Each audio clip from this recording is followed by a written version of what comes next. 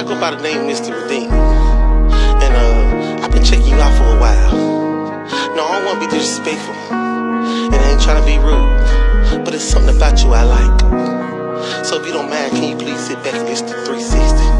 Come on in and spit that verse. Yeah, yeah. Sitting thinking of a